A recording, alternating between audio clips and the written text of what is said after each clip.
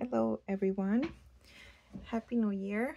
I am excited to um, start this new year and also share some of the journals that I will be using um, for the rest of the year.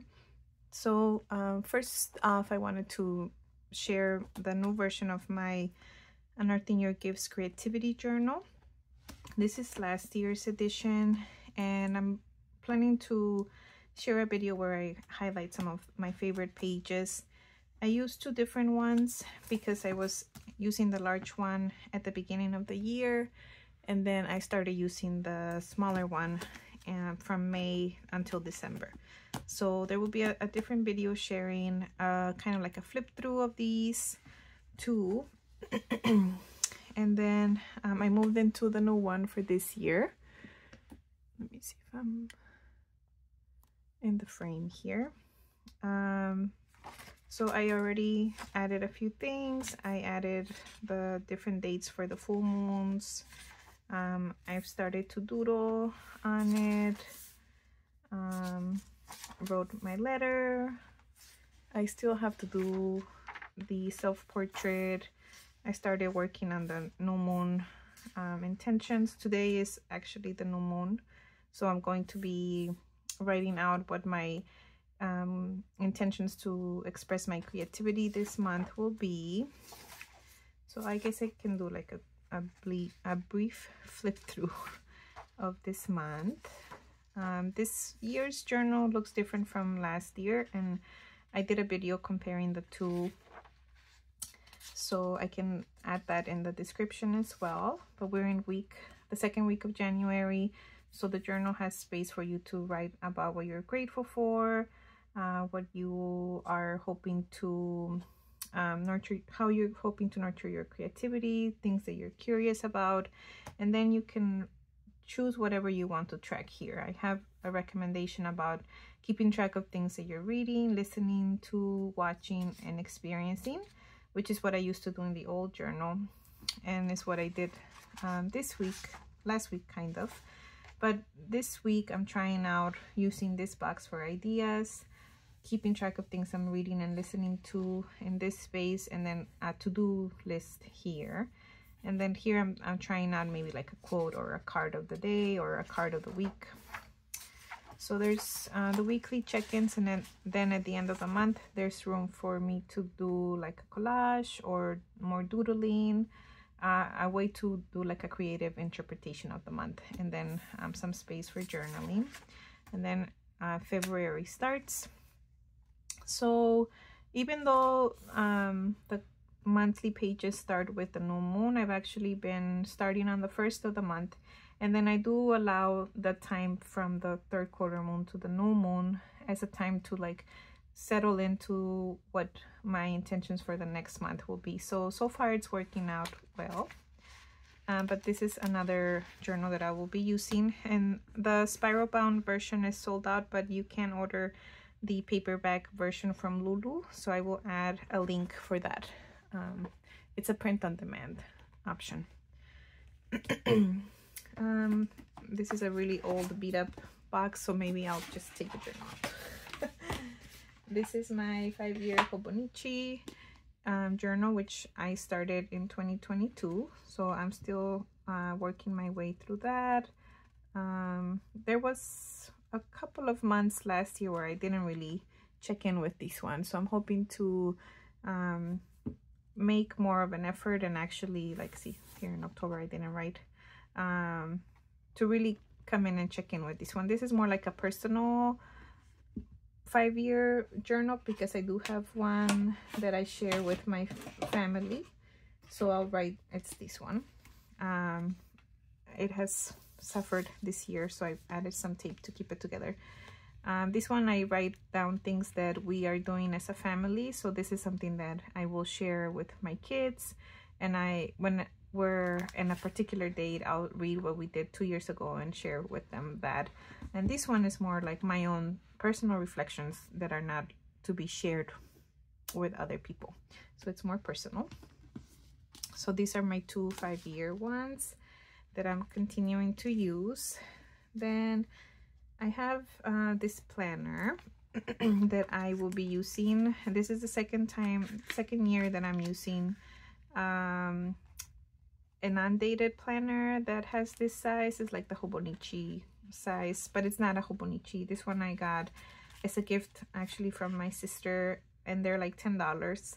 Um, she got me two of them and they're $10 each. So compared to the $35 Hobonichi, this one is more affordable.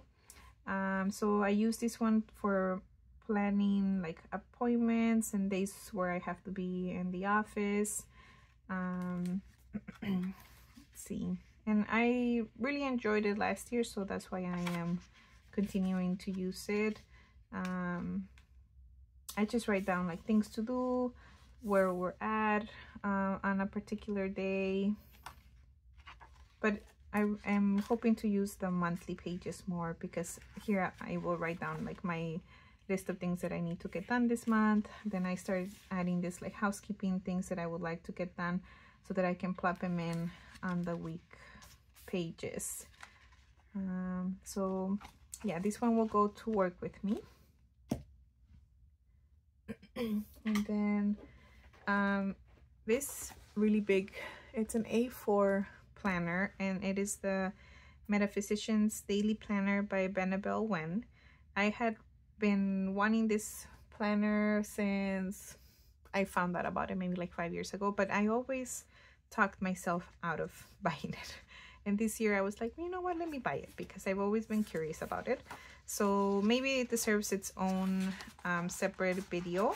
I ordered the large the largest one, uh, the A4, because Benebell said the writing in the smaller version was pretty tiny. So there's a lot of additional information in the back of the page, in the back of the planner that I wanted to be able to see clearly. So how I'm using this one, in addition to learning all the things here and reading the workbooks and guides that Benebell um, included with it, which I don't have up here, but I will be using. Um, I will be using it as a daily gratitude journal. So I just got it in this week and uh, I started doing what I usually do in another daily notebook here. So I write down what I'm grateful for and then I make a list of things that I need to do and that's how I'm planning to use it. I will also be using it more for like my spiritual um, notes and observations. I want to go through these different questions that she has here um, and journal about them. I want to do my planning for um, career, financial health, family, personal, spiritual, and then do my card um, year-end reflections. There, there's also this two-page spread for pulling a card for each month, uh, adding your notes, and then coming back at the end of the month to reflect on how that card showed up in your life. So I'm hoping to do that this week. But overall, I'm really um, happy that I'm able to actually try the planner.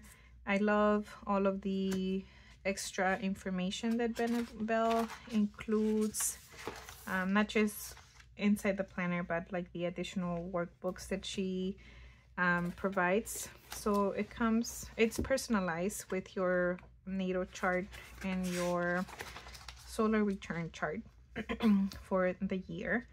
And she provided a guidebook to help me, to help whoever orders the journal or the planner work through your own birth chart and kind of make the analysis of what to expect for the year. So that's something that I'm really excited to do because um, astrology is something that I'm always very curious about and that has helped me to um, improve my life and just see life a little differently. So after a few months after using the planner and reading the um, um guidebooks and the workbooks, I will come back and do a review and share how I'm getting along with that planner as well. So overall i feel like my journal stack is manageable. Like this one i will usually check in with it once a week and then at the beginning of the month. Then um, this is like the daily. This one I will check in with in the morning um, to write down what happened the day before. And then my creativity journal is just kind of when I'm like feeling like I want to doodle. Um, there's something that I want to track or if there's like something else that I'm starting to read notes that I want to take. So this one is is kind of like mm, doesn't have like a set schedule for me to use. But um yeah so overall I feel happy right now with my journal stack. And I will be sharing maybe like quarterly how I'm getting along with all of the journals. Because since they don't change month to month it's not as exciting. Um, but I do like to share what I'm using and I love looking at other people's journals as well. So if you're into that stay tuned for more. Thank you